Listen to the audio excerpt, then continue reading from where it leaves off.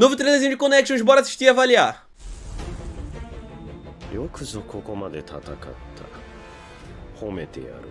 Ok, voltamos à escala dos flashbacks dos jogos antigos.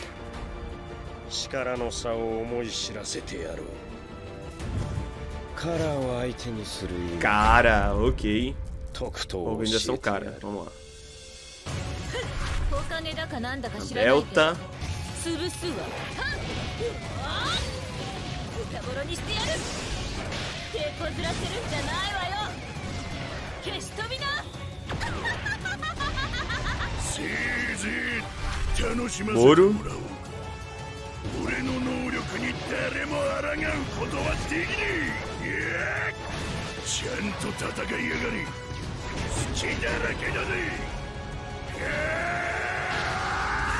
É o tanque, né? O tio de Jirobo, agora é o Boro também. E aí nosso quase Jiraiya, Kojikashi.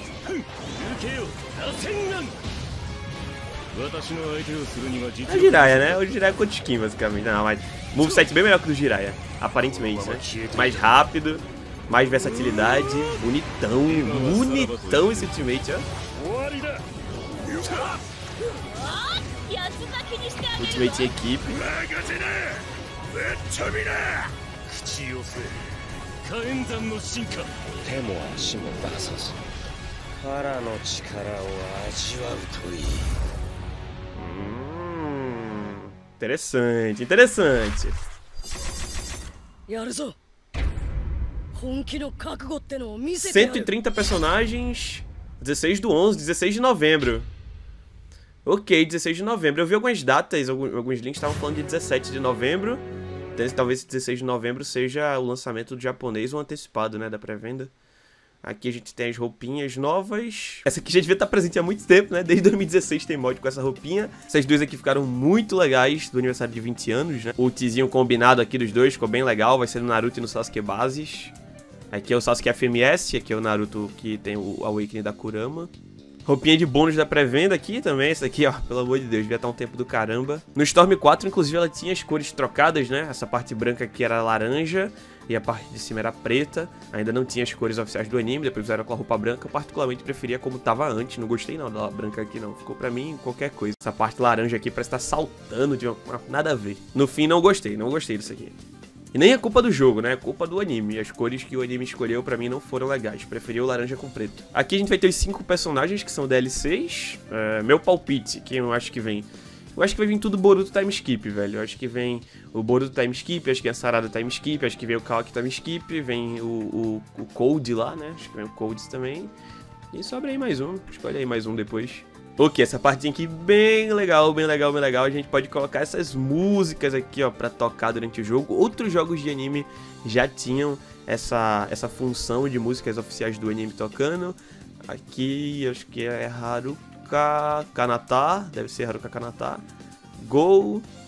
Ah, aqui é Shirueto. Aqui é Ikimonogatari. É, Ikimonogatari é Bluebird, aqui é Bluebird. E aqui é Kaze, a 17 abertura. Então a gente tem a 17, a 16, a terceira do Shippuden, a quarta do clássico e a segunda do clássico. Ok, Kakashi sem máscara, Narutinho, que são os bônus de pré-venda, de edição Ultimate, DLC e Season Pass. Vai vir nas versões Ultimate pré-venda, a gente dá uma olhadinha nisso no próximo vídeo. Vou fazer um vídeo falando sobre todas as novidades, datas de lançamento, crossplay, tudo bonitinho, então fica atento no canal que esse vídeo deve sair logo mais. Pra mim, tanto esse Minato quanto essa coxinha deviam ser personagens novos, não skins. Interessante colocar a skin, tá legal, mas deviam ser personagens novos. O Minato ainda tava descobrindo o Rasengan, ele tava estudando pra fazer o Rasengan e ainda.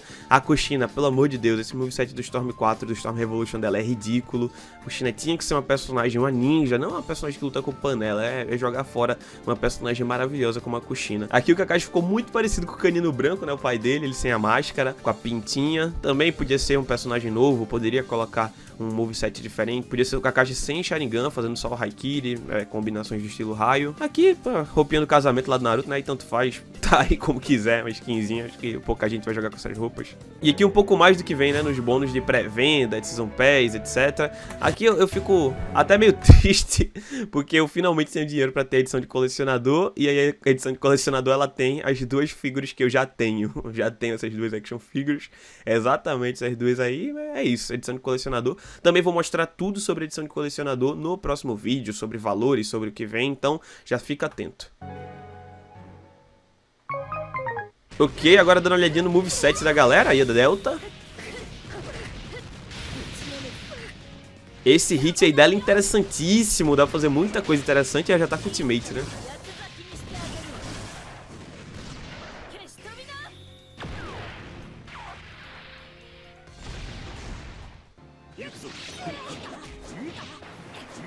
Moveset muito melhor que o do Jiraiya, velho. Muito melhor que o do Jiraiya. Incomparável. Se eu comparar ele com o Jiraiya em algum momento, eu tô retirando. Muito bom, muito bem feitinho. A riqueza de detalhes no moveset dele é muito legal.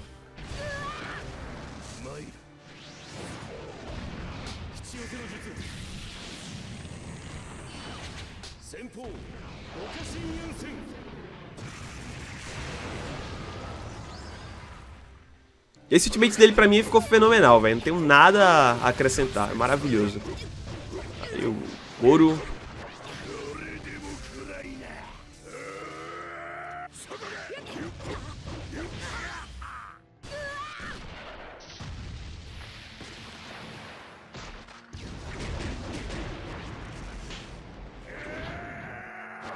Muito o que falar não, né? O tanque do, do- da cara.